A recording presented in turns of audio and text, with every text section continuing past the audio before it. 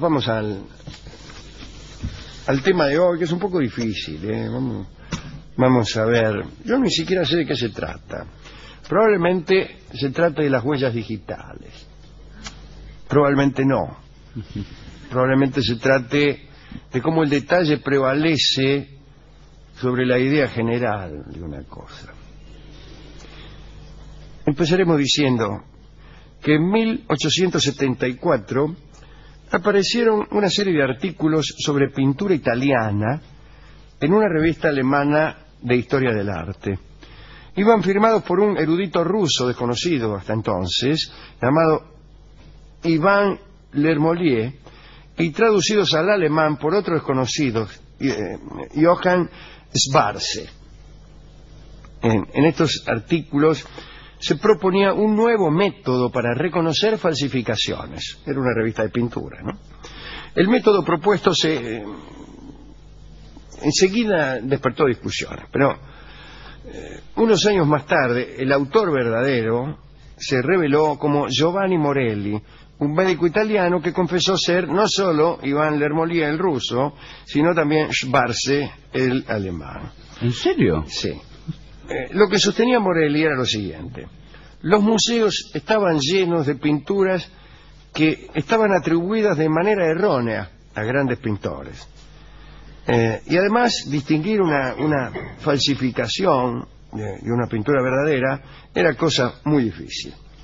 Para conseguirlo, decía este hombre, había que abandonar el modo habitual de concentrarse en las características generales de la pintura, eh, ya que era más fácil imitar lo general que el detalle pequeño, donde él decía que había que concentrarse. Y especialmente los menos significativos de la escuela de cada pintor. Por ejemplo, los lóbulos de las orejas, las uñas, las formas de los dedos, los dedos de los, de los pies, qué sé yo. Morelli identificó y clasificó cada uno de los detalles que pintaban los grandes maestros. Con este método realizó docenas de revelaciones acerca de la veracidad o falsedad de algunas obras eh, en los museos de Europa. Lo cierto es que el método de Morelli fue muy criticado. Se lo tachó de mecánico, de positivista, cayó en desgracia y en desuso. Morelli no abordaba en verdad los problemas de la falsificación a nivel estético, sino a un nivel más básico, cercano a la filología. Eh, sus libros de historia del arte que publicó eh, eran completamente distintos a los de a los otros. Estaban, por ejemplo, llenos de dibujos de orejas y manos que pintaban los grandes pintores italianos. Esto, estos son los dedos de los pies que pintaba el Caravaggio, por ejemplo. Eh, este método, en principio criticado, vino a influir en otros dos médicos, ya que Morelli también era médico, otros dos médicos famosos que también escribían. El primero es Sir Arthur Conan Doyle, que tenía por costumbre fijarse en los detalles y advertir en ellos cosas que nadie, que nadie advertía. Conan Doyle famosamente es el autor de las aventuras de Sherlock Holmes. Eh, uno de sus primeros cuentos, La caja de cartón, justamente se inicia con dos orejas cortadas en un paquete enviado a una solterona. Entonces, Dr. Watson y Holmes examinan el paquete y Watson dice, Holmes contemplaba con atención el perfil de la señora. Por un instante fue posible leer en su rostro sorpresa y satisfacción. Yo, por mi parte, me quedé fijamente mirando su cabello alisado y canoso. Más tarde, Holmes explica a Watson. Usted, Watson, como médico, sabe que no hay parte que varía tanto como la oreja. Por regla general, cada oreja es distinta. Imagín, imagínese mi, mi, mi, sorpresa, dice Holmes, cuando al mirar a la señorita Cushing me di cuenta de que su oreja se parecía a la oreja femenina que había en la caja. Pude decir entonces que se trataba de las orejas de un familiar, de un familiar próximo. Eh, esta metodología es la metodología de Holmes en todos sus cuentos y sus novelas y sus historias. El detalle explicando la generalidad, o revelándola, mejor dicho. Otro médico en el que Morelli influyó fue el doctor Freud. Escribió incluso acerca de Morelli a favor, porque estaba sorprendido por ese método. Dice Freud, supe que un crítico ruso, seguía creyendo que, era, que era ruso, ¿no? prescindió de la intención del conjunto y prestó atención a las minucias. Y es que tanto Morelli como Freud pretendían un método interpretativo que se basaba en considerar lo marginal y supuestamente irrelevante como un indicio revelador. Y entre aquellos tres médicos, unos detalles minúsculos proporcionaban la clave para acceder a verdades más complejas. Para Freud eran síntomas, para Doyle eran pistas y para Morelli rasgos pictóricos. Y estamos ante lo que las ciencias sociales llamaron después el paradigma indiciario. La idea de Morelli fue la de rastrear signos que, al igual que los síntomas, se producían de una manera involuntaria. Eh, por ser médicos debemos decir, los tres, ¿no? Los antecedentes de esta lectura de, signos tenía raíces antiguas. En Grecia estaban los hipocráticos que decían que sólo la atenta observación de todos los síntomas permitía establecer la verdadera enfermedad. El síntoma era semeión, y de ahí, Barton, la semiótica moderna y la semiótica médica. Para los hipocráticos la enfermedad en sí era inasequible, solo había síntomas. ¿Eh? Ese asunto de prestar atención a los detalles consistió en una tendencia cada vez más clara del, del, poder. Se trataba, en otro ángulo, de extender sobre la sociedad un control relacionado a la atribución de identidades. Estoy hablando eh, de lo siguiente. Hasta fines del, del, siglo pasado, del siglo XIX, era difícil saber si un tipo era el que decía ser. Te venía a decir, y ya, no se sabía. Ahora tenemos el DNI y el ADN o la fotografía, yo qué sé. Pero en aquellos tiempos no era tan sencillo. Levi Strauss decía que toda sociedad siente la necesidad de diferenciar a sus miembros. En Egipto, por ejemplo, un tipo que eh, iba al, funcionario para contraer matrimonio o hacer alguna transacción financiera, estaba obligado a dar su nombre, pero también detalles de su aspecto físico, cicatrices, cualquier marca característica, eh, para que fuera fácil reconocerlo. En Francia, por ejemplo, había un, problema jurídico con los reincidentes. El 50% de los que salían de las prisiones volvían a delinquir. Y entonces, para identificarlos como residentes, era necesario mostrar si eran los mismos. Porque te agarraban eh, a vos afanando y ya habías afanado. Decía, ¿usted reincidió? No, yo no, soy el mismo. Soy otro. Te convenía ser otro, como casi siempre. En algún momento de la historia jurídica de Francia hubo lío, porque marcarlos o mutilarlos ya estaba prohibido. Habíamos avanzado en la historia y no lo podíamos. Hasta que un empleado de la prefectura de París, un señor Bertillon, Alphonse Bertillon, desarrolló eh, un método, que era el método antropométrico. Te medían los detalles para saber si vos... Te medían la oreja, la nariz, este pero bueno, también podían mandar a la, a la cárcel a un hombre inocente. Imagínate que vos te miras la nariz y justo te medía lo mismo que, que, a Dillinger. Claro. Preso, yo no soy Dillinger, no importa. Y si usted la nariz le mide 4 centímetros, Dillinger. Acá todo tipo, al que la nariz le mida 4 centímetros, es el enemigo público número uno, o sea, Al Capone. O Dillinger, yo qué sé. Muy bien. Eh, en Inglaterra apareció un señor Dalton y encontró un detalle que era fenómeno para ser archivado. Las huellas digitales. Las huellas digitales. Pero no bastaba con, conocer que existían. Para que fueran eficientes había que detallarlas, ordenarlas y clasificarlas. Y eso fue logrado aquí en la Argentina por Juan Bucetich, que en verdad era croata, como se descubrió una vez que examinaron sus huellas digitales. Bucetich era policía de la provincia, era un vigilante de provincia, y clasificó los archivos de un modo tal que permitiera la, la comparación rápida.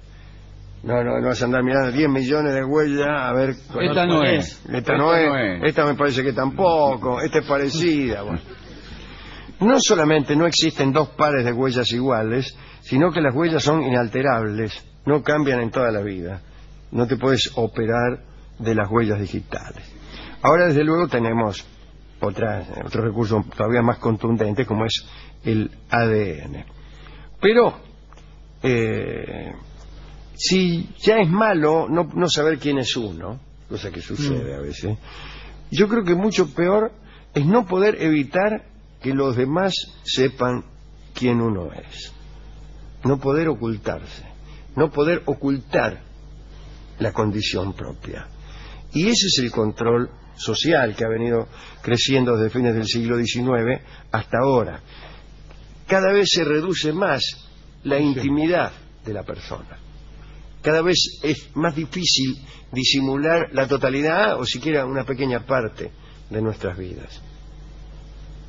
Y, y es inevitable que, eh, ser reconocido, ser vigilado, ser controlado, ser descripto, ser medido, eh, a partir de detalles, de detalles como, como el ADN o como, como, la, como las huellas digitales.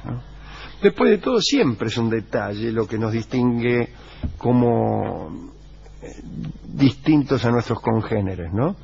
Eh, nosotros, por ejemplo, vemos a las hormigas todas iguales. Ellas se deben reconocer, o quizá no, por, quizá tienen las hormigas una intuición eh, cósmica superior, que es, después de todo, da lo mismo quién es uno. Sí. es cierto. y, y no existe identidad entre las hormigas. Pero eh, los hombres desde el Parnaso, eh, desde algún cielo lejano, desde allí, desde el siglo 365 de los gnósticos, por ahí nos vemos muy parecidos los unos a los otros, pero nos reconocemos por detalles.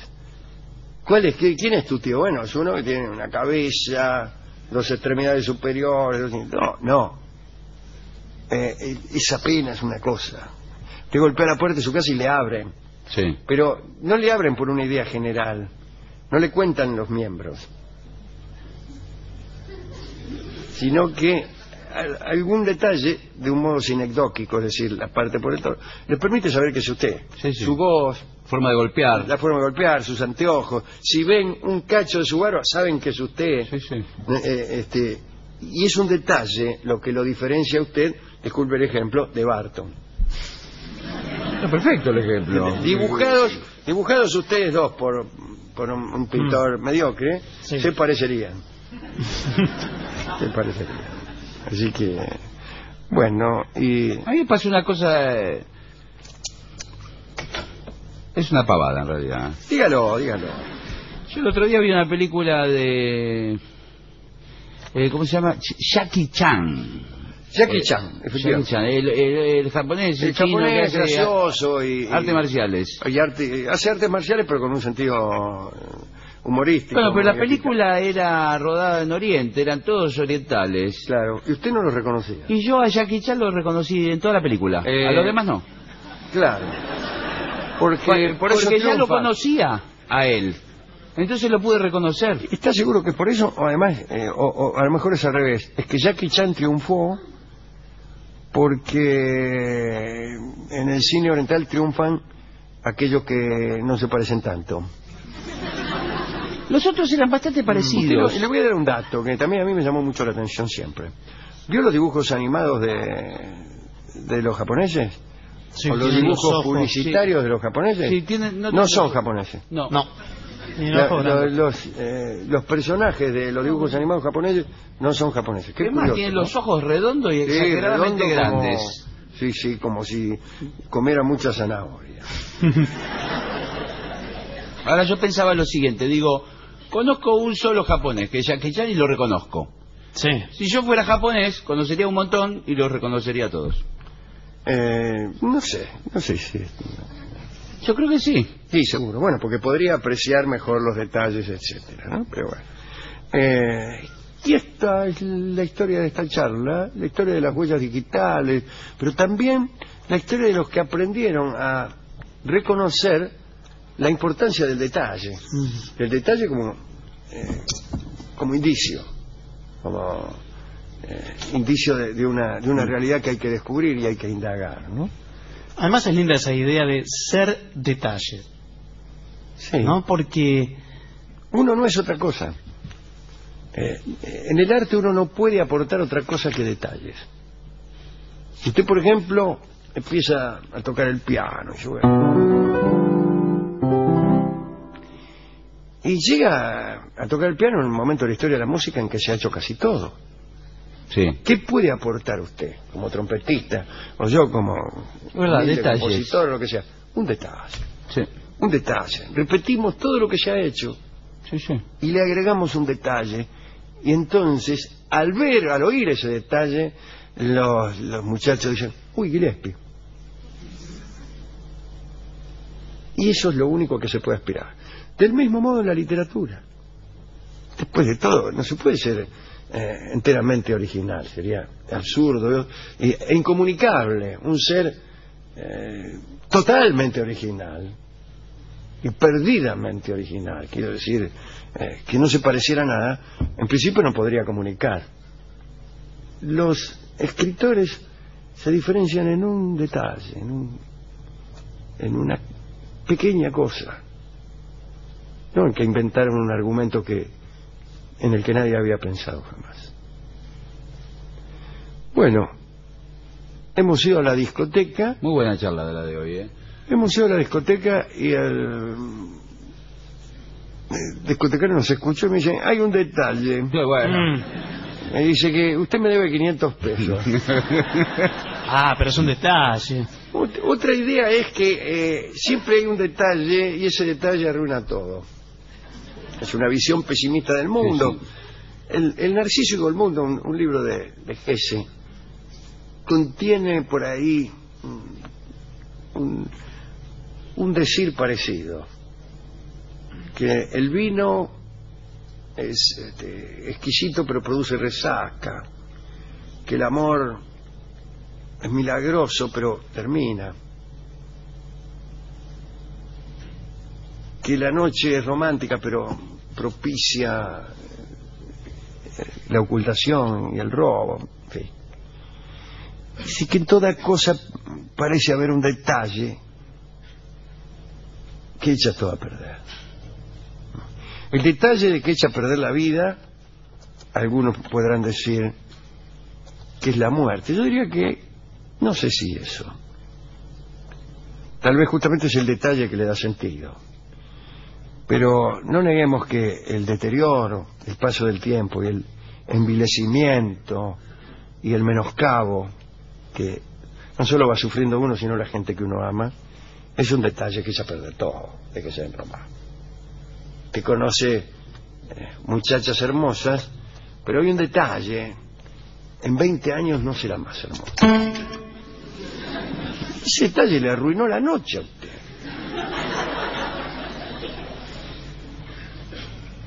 Bien. Dicho todo esto, el discotecario me dijo, bueno, imaginemos que en realidad esta charla no es sobre detalles, sino sobre huellas, sobre huellas digitales. Y me entregó justamente una huella que escucharemos en la voz de Alberto Merlo, huella del desierto. Sería mejor huella en el desierto. Claro, la huella del desierto que es un poco de arena arrojada en el vacío. Claro, indicio del desierto también sería mejor. Cuando uno ve que no hay nadie, dice, esto debe ser el desierto. Pero si la huella en tanto pisada, en tanto marca de un ser que ha pasado por ahí, sería huella en el desierto. Usted pasa por el desierto y deja la marca de sus, de sus casados siete vidas. Pero en este caso eh, es, eh, es una canción, un, una danza criolla, una forma criolla de música que se llama huella. Eh, huella no en el sentido de indicio, sino, me temo, en el sentido de camino. Cuando uno habla de huella, como Sí, sí. Alberto Merlo está señalando uh, un derrotero, una ruta. Le quise explicar eso al discotecario. No pierda tiempo. Ya se había ido, ya se había ido y había dejado solamente sus sucias huellas digitales sobre los discos relucientes. Escucharemos entonces a Alberto Merlo, eh, paisano muchas veces reconocido por las huellas de sus botas y sus espuelas, eh, cantando esta huella del desierto dedicada a Sherlock Holmes, a Juan Bucetich, a Sigmund Freud, Jackie Chan. a Jackie Chan, a Morelli y a todos los japoneses que tienen sutiles diferencias que nosotros, en nuestra ineptitud, no podemos apreciar. Adelante.